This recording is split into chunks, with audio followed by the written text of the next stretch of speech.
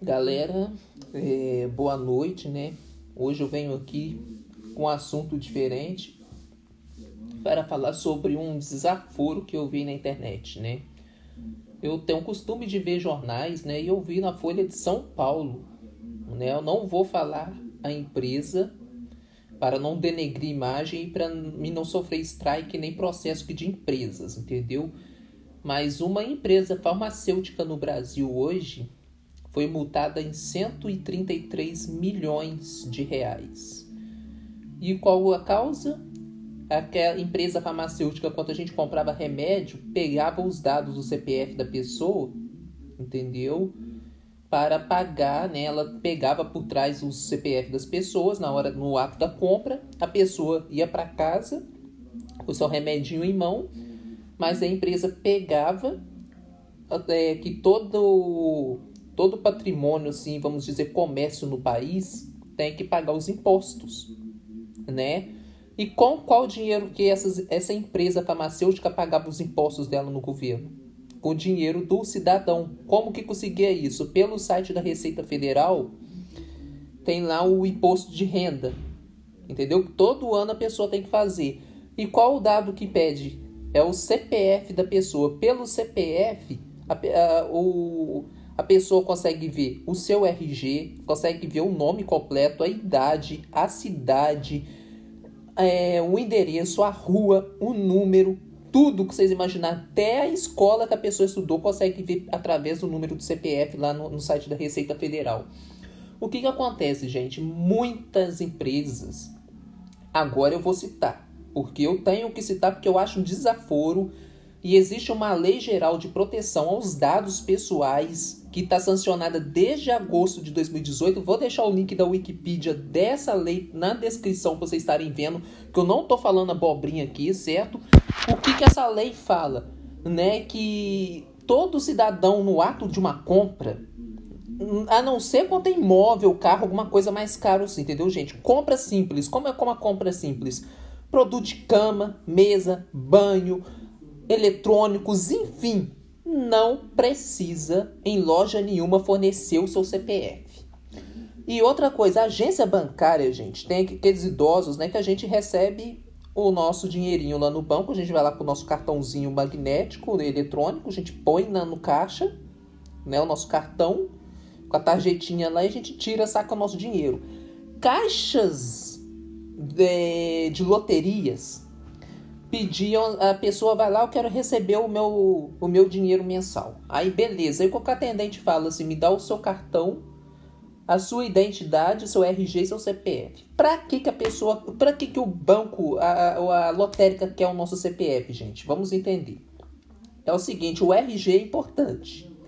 Certo? Por causa de que, que é importante? Porque quando a gente vai sacar o dinheiro numa casa lotérica, além do cartão e da senha, vai ter um cartão roubado, né? Aí o agente bancário na caixa, desculpa, eu tô com soluço aqui, pede a pessoa o RG. Por causa do quê? Que o RG consta o mesmo nome que tá no RG e com a foto ali, o, o atendente consegue ver que a pessoa é realmente você ou não pela foto que tá no RG e pelo que tá vendo ali na sua cara, na sua face na hora, e o nome embaixo da, da, da, da, da, da imagem ali que está assinado ali pela letra, entendeu? Pela caneta ali que a gente assina quando a gente faz o RG, né?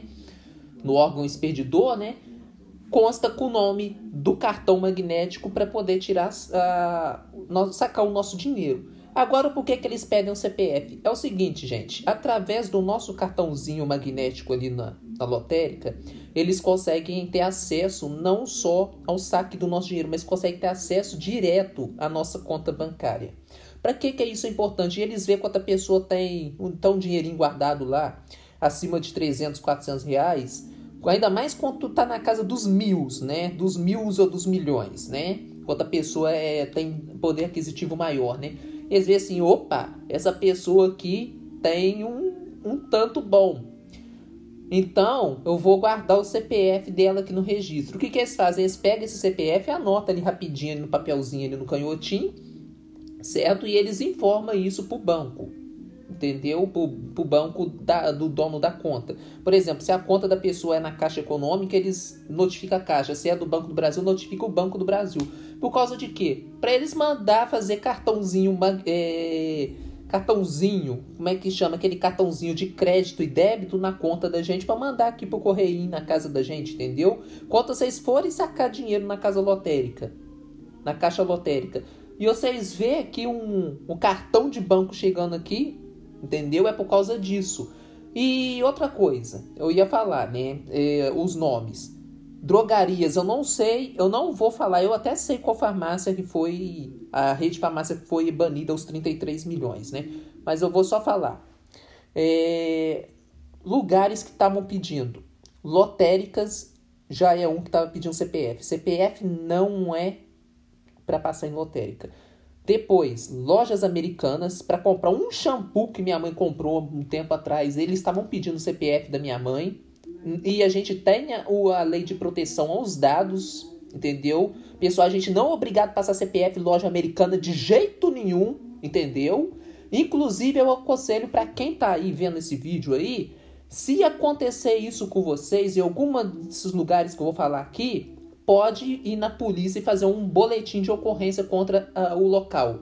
Porque a polícia vai mandar isso para o governo, entendeu? As autoridades dessa lei aí, entendeu? E vão notificar a loja a estar retirando esse processo de pedir CPF da pessoa e vai estar tá dando essa multa de 133 milhões, de 33 a 133 ou até mais, dependendo do grau de, de safadeza que essa, essa, esse comércio está fazendo com a gente lojas de computador, peças de computador, você vai comprar um teclado, um mouse, as lojas te pedem CPF. Aqui em Juiz de Fora aqui tem três que tá pedindo: Eletrônica Faragó, Sete Informática e Macrovision.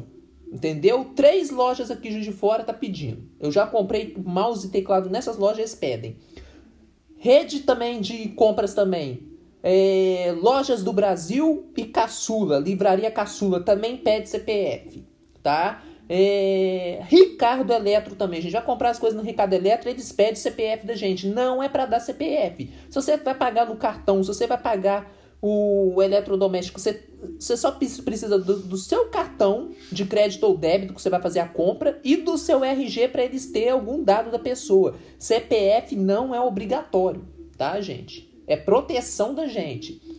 E entre outros, entendeu? Tem padarias, Max Pão, entendeu? Que Juiz de Fora aqui, você comprar pão francês, até que não, mas certas coisas, se for comprar uma torta, um bolo Floresta Negra, eles pedem a porcaria do CPF. Pra que uma padaria quer o seu CPF, gente?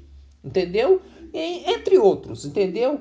Tem muitas lojas de eletrônico fazendo isso, muita padaria fazendo isso. Então, gente, o que eu deixo para vocês? Lei de proteção aos dados do cidadão. Existe desde dois, agosto de 2018, já foi sancionada e vai terminar mesmo agora em janeiro de 2020. Mas já está em vigor. Por que, que esses comércios estão pedindo CPF da gente? Então, gente, por favor, caso vocês for comprar o que seja, desde um shampoo, desde um pote de creme, ou uma pastilha de, de menta no, no, numa farmácia, ou então um eletrônico, uma coisa de qualquer de computador ou bolo, seja lá o que for, se te pedir seu CPF, não informe. Aí se, se o comércio falar assim, ah, então se não informar, a gente não faz a venda. Você fala assim, pois bem, você acabou de perder um freguês, passa para outro comércio do mesmo tipo e compra lá, entendeu? Mas não informe seus dados, porque o barato para muitos, né, de formar um simples documento pode sair caro no final do mês lá na sua, na sua poupancinha lá, ou então no seu rendimento mensal, né? Que né, eles podem comer o seu dinheiro do seu salário, né? Para pagar dívida de, né, de tri, tributos de casas aí que estão fazendo de forma ilegal, pagando os seus impostos no nome do cidadão. No mais é isso, gente. Vou deixar o link na descrição, certo? Tá aqui, ó, para vocês lerem aqui entendeu? Tudo que vocês quiserem se informar. E por favor, comércio que estiver pedindo isso, não informem. Vão na, na delegacia. Se possível, liga para 190 dentro do estabelecimento, para a fila, para tudo. Liga e chama a polícia lá para fazer o BO na hora e informa o que está acontecendo que está pedindo o CPF de vocês, entendeu, gente? No mais é isso, até a próxima, se Deus quiser. E cuidado com a vigaristice, tá, gente?